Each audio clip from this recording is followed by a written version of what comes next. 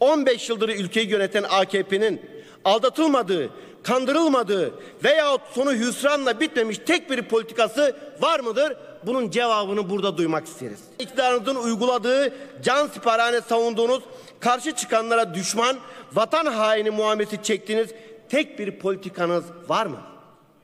Sonunda karşı çıkanlar yanılmış, iktidar haklı çıkmış olsun dediğiniz bir icraatınız var mıdır? 15 yılda yapılan yanlışlar, hatalar, yolsuzluklar nedeniyle büyük bir itibar kaybı olduğu muhakkak. Kaybedilen, yitirilen itibar karşısında Recep Tayyip Erdoğan düzgün insan olduğunu ve kendisine inanmamızı istiyor. Erdoğan itibar kaybını Cumhurbaşkanlığı makamının itibarıyla bu makamın verdiği güçle örtmeye çalışıyor. Kendine saygısı olan, değerlere inanan, insani hasletlere önem veren herhangi bir insanın asla kabul edemeyeceği söz ve eylemlerini unutturmaya çalışıyor.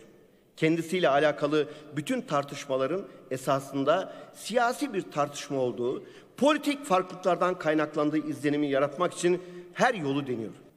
Seçimlerden aldığı destekle sahip olduğu gücün onu akladığına, düzgün insan yaptığına inanmamızı istiyor bizden. Mesela kendisini protesto eden bir çiftçiye söylediği ananı al da git cümlesindeki sefa, sela, se, sefaleti, evladını kaybeden bir anneyi miting meydanında yuvalatan vicdansızlığını, yolsuzluk iddialarının olduğu ses kayıtlarında çıkan oğlum paraları sıfırladın mı?